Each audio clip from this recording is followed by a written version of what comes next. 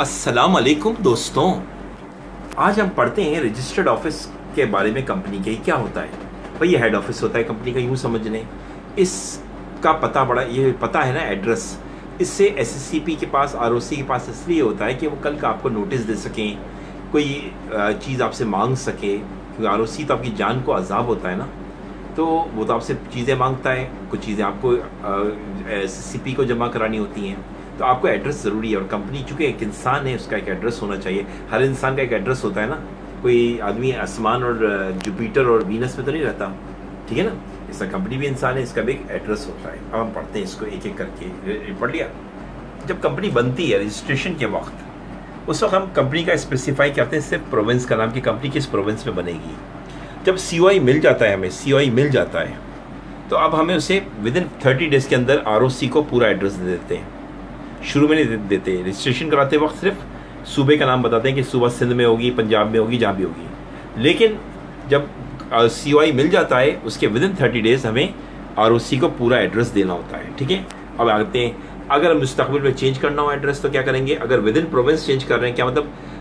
कराची से हैदराबाद हैदराबाद से Sukkur with in province है ना? और एक होता है आउटसाइड प्रोविंस इन दोनों के लिए हमें क्या करना पड़ेगा? डायरेक्टर की मीटिंग करनी पड़ेगी। पहले मीटिंग का नोटिस होगा, डायरेक्टर नोटिस देंगे। अपने तमाम डायरेक्टर्स, ठीक है? क्या मीटिंग कर रहे हैं? उस नोटिस पे टाइम लिखा होगा, मीटिंग की डेट लिखी होगी। डायरेक्टर की मीटिंग होगी, ठीक है? मीटिंग के बाद क्या होगा? मेंबर को नोटिस दिया जाएगा कि डायरेक्टर कहेंगे, हमने एक मीटिंग की है, उसमें हमने एड्रेस चेंज करना चाहते हैं। चूँकि ये डायरेक्टर के हाथ में नहीं होता।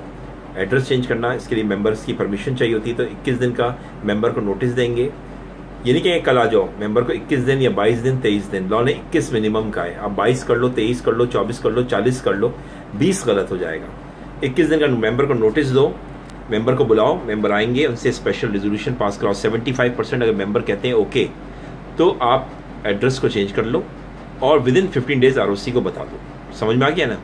और अगर आप विद इन सिटी कर रहे हो, यानी कराची में, तारिक रोड पे आप आप ले जा रहे हो उसको मिसाल के तौर पे क्लिफ्टन तो इस सूरत में ये काम करने की ज़रूरत नहीं है। कोई ज़रूरत नहीं है। आप सिर्फ़ पंद्रह दिन के अंदर नोटिस के अंदर अंदर बता दो आर का, हमने एड्रेस चेंज कर लिया है। कराची में पहले हम तारिक रोड पे थे आपके क्लिफ्टन पे चले गए, या डीएचए चले गए, या हैदरी चले गए। क्यों सिटी सेम है ना? सेम सिटी है। इन दोनों में सिटी यहाँ पे क्या है? प्रोविंस सेम है, लेकिन सिटी चेंज हो रही है। यहाँ पे क्या है? सिटी भी चेंज हो रही है और प्रोविंस भी चेंज हो रहा है। ठीक है ना? तो अब आपको समझ में आ गया। आई होप ये क्लियर हो गया होगा। रजिस्टर्ड ऑफ़िस की अहमियत बताऊँगा कि नोटिस आपने ऑडिट नहीं कराया या आपको मिसाल के तौर पर क्योंकि एस भी आपको नोटिस देगी आरओसी आपको नोटिस देगा, तंग करना तो है उन्हें। होता है गवर्नमेंट से आपने रजिस्ट्रेशन करा ली है कंपनी की तो फिर तो पंगेबाजी तो शुरू हो जाएगी ना। तो आपको एड्रेस की अहमियत समझ में आ गई कि एड्रेस कंपनी का बहुत इंपॉर्टेंट है। ठीक है thank you very much take care असल टेक केयर दुआ में याद रखिएगा प्लीज़ मेरे और मेरे घर वालों के लिए। अल्लाम